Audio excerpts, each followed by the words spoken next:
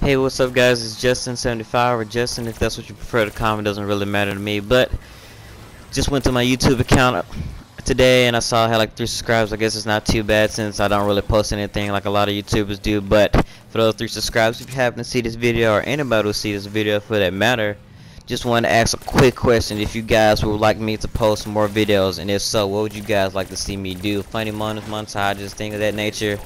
I mean, if you don't, no big deal. I mean, there's plenty of YouTubers out there providing enough entertainment out there for you guys anyway. But hey, if you guys want to see me do more stuff, let me know in the comments below.